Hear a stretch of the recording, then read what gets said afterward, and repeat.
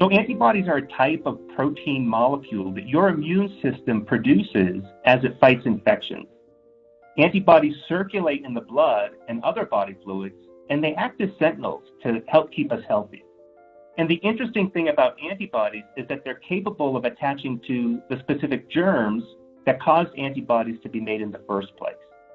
So, people who are infected with the novel coronavirus make antibodies that specifically recognize that virus and not other types of viruses. By analogy, uh, think of a lock and key. The key is made to open a specific lock and not another lock. So we're still learning about the novel coronavirus, but we do know that antibodies against it become detectable several days after symptoms begin. These antibodies are like fingerprints that tell us the virus has caused an infection and that our immune system has responded.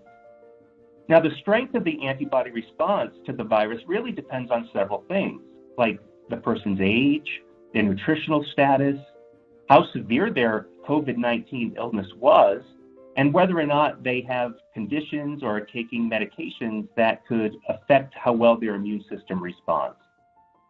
The other important thing to remember is that antibodies usually remain in the blood for some period of time, and they act like guards that can quickly uh, restart the immune system or activate the immune system when someone has been exposed a second time to that same infection that caused them to be made. Now, with some infections, antibodies not only recognize when a past infection returns, but they also keep us from getting the same illness again. Like think of the measles.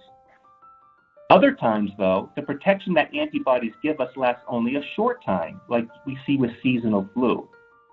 And right now, we don't know how long antibodies to the novel coronavirus last, or if they even give us short or long term immunity. And that's really important for us to know because doctors want to be able to use the results of these antibody tests to determine if someone is immune or not. But we just don't know the answer to that question. And until we do, these antibody tests to novel coronavirus really only tell us that you have had an infection.